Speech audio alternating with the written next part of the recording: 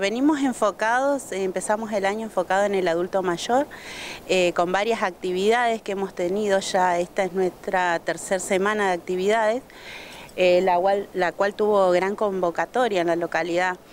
Eh, si bien nosotros nos enfocamos primero por los centros de jubilados, igual hicimos el puerta a puerta de, la gente pionera de este lugar para que se sume a las actividades. Nuestra primera salida fue a Rospente, la cual tuvo gran convocatoria, 30, alrededor de 30 personas. Eh, fue una tarde amena, la pasamos muy bien y lo que sí rescato de esa salida es que había gente que, hace muchos años que vive en la localidad y que no conocía en profundidad el, Rospente, así que eso fue algo positivo que sacamos de esa salida, a la cual nos enfocamos en, en ir a otros lugares también, gestionando y viendo cómo poder llegar, ¿no? Y después hicimos un taller eh, con la obstetra, la cual igual tuvo gran apertura porque evacuaron dudas, eh, se habló todo desde la perspectiva del adulto, ¿no?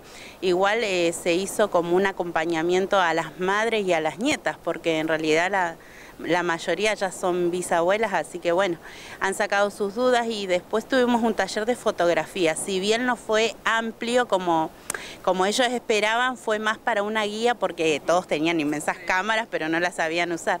Así que eso igual fue de gran apertura para la, para la gente adulta. En realidad... Eh, Estamos de a poquito viendo cómo viene todo porque en realidad nosotros vamos a abarcar varias cosas, pero como iniciativa desde el momento que agarré este lugar eh, quería el adulto mayor y aparte de eso estamos igual, quería recargarte que estamos eh, con Diana Santich del Yehuen, eh, ella está dando igual unos tips de folclore porque cada centro tiene su grupo de folclore, pero como que ellos querían unas, unas clases más avanzadas, como quien dice, ¿no?